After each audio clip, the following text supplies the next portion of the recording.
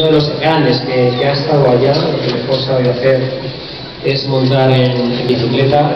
Yo os propongo para recibirnos, hablando sobre de la música, que lo recibamos. Ahí está.